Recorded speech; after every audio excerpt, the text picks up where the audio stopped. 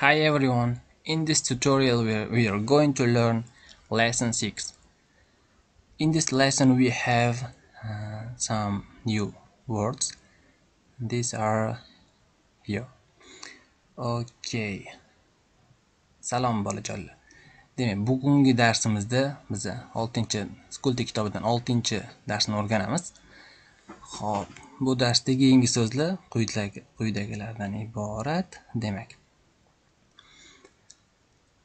a squirrel olmaxon, a wolf bo'ri, zebra zebra. Hop. a boy bola. Bu a zebra. Keyingisi qaranglar. Endi bu yerda hop, bizga kichkina tekst berilgan.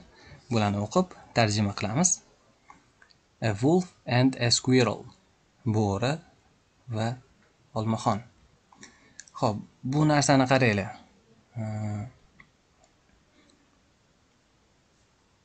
Man buni o'qimasimdan oldin videoni pauza qilib turasizlar.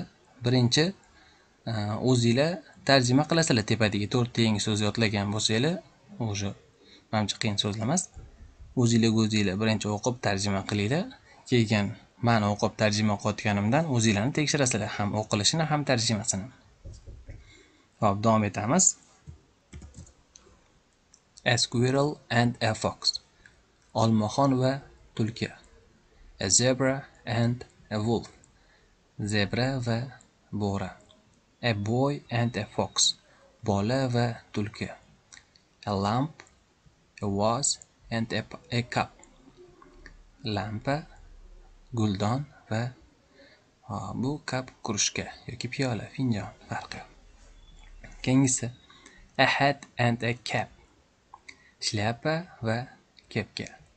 A bat and a squirrel.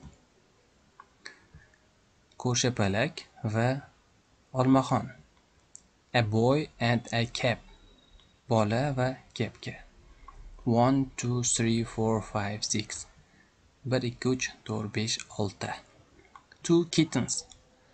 Mana kitten so'ziga s qo'shimchasi qo'shilganini buni oldin ham oldingi darslarimizda ham aytganman. Bu e, lar qo'shimchasini beradi. Kittens mushukchalar. Two kittens. Two kittens. Ikkita mushukchalar. Three boys. Uchta bolalar. Four boxes.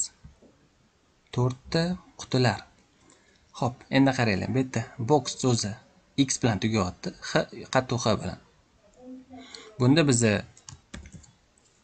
qoida o'rganuvdik, ya'ni x yoki sh yoki ch yoki o lar bilan tugaydigan so'zlarga ko'plik qo'shimchasini yasash uchun lar qo'shimchasini unda es qo'shiladi.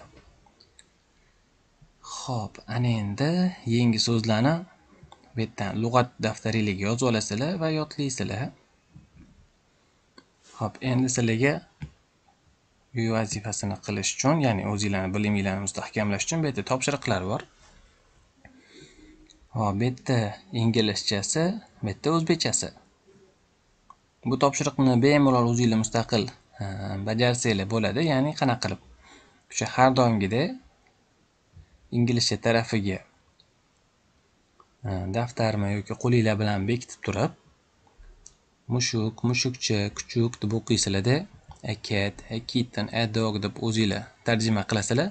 Keyin sekin daftarni tushirib, bundoq to'g'ri tarjima qildinglarmi o'zinglarni o'zinglar tekshirasizlar. Xo'p, shunaqa qilib ko'p mashq qilsanglar, eh, bu yodlayotgan so'zlarimiz eh, juda ham tez esinglarda qoladi.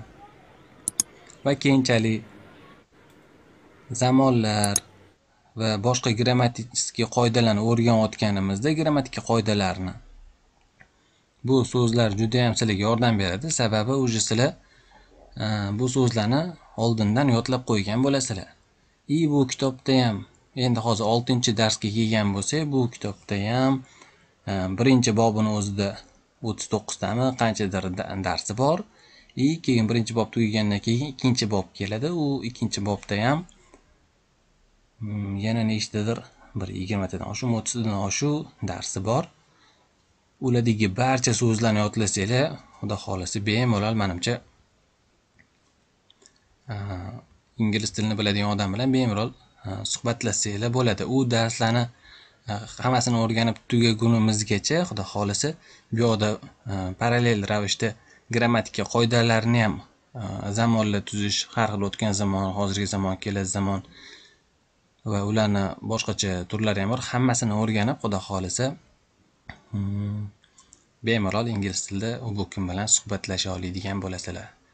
Ho'p video yoqqan bo'lsa layk bosishni unutmanglar. Hammaga rahmat sog' bo'linglar.